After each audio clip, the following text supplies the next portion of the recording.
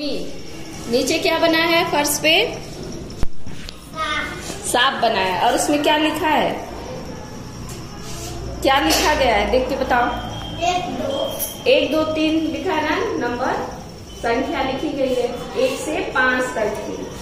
और जो संख्या हम बोलेंगे उसमें उसमें कूदना है। क्या करना है? दो के बगल में। ठीक?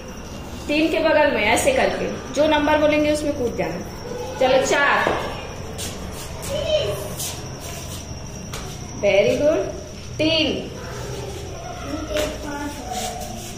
दो एक पाँच का आया पाँच। बहुत अच्छा क्लैप करें इसके लिए।